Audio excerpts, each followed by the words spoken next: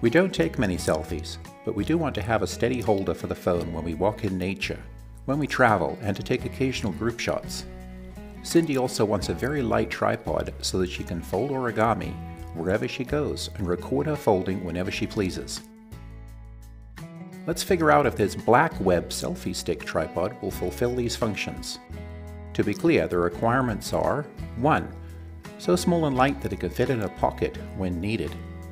2. Can stand like a tripod when needed. 3. A remote control. Simple, clean, natural way of life. By lovenaturalmaterial.com. The package is very small and very light.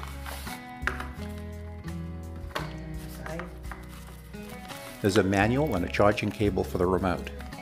The selfie stick itself, when folded like this, is 20.3 centimeters or about 8 inches long and weighs 153 grams, which is 5.4 ounces.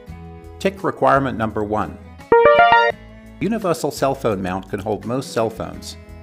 By the manufacturer's description, it fits cell phones between 5.5 to 8.5 centimeters wide. I'm mounting a Google Pixel 4a with its case. Position the phone so that its power button is not clamped. Be sure to push the phone snug against the back support.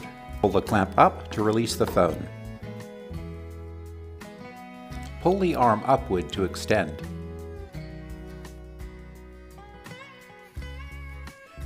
Make sure to extend the last stretch out of the foothold. This also enables the tripod mode. Both the aluminum alloy extension and the plastic feet are quite light. The feet are not adjustable. We've never used it as a tripod outside at full height, but if you want to do that, we believe that you should make sure it stands firm on a solid flat surface and there's little or no breeze. In a little bit, we'll show you how to let it stand on the table in the house as a tripod.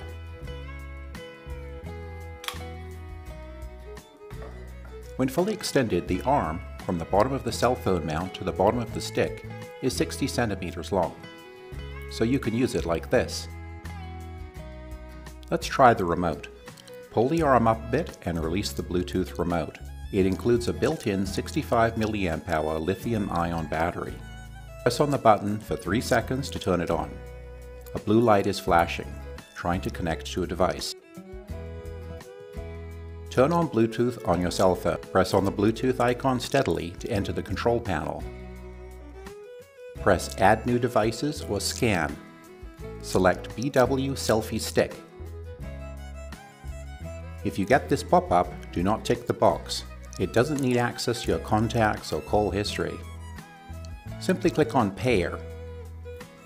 In a second, it'll appear in the Connected Devices list and the blue light on the remote will become steady, meaning it's connected. Now on the phone, enter the settings for the camera or the video camera. Make sure volume key action is set to shutter. This enables the remote to operate the camera. If you've connected the selfie stick before, it'll show up in the previously connected devices list. Simply click on it to enable the connection. Now let's use it for origami. The phone's on and set at the video mode. Position of the phone can be adjusted. The shooting angle can be adjusted.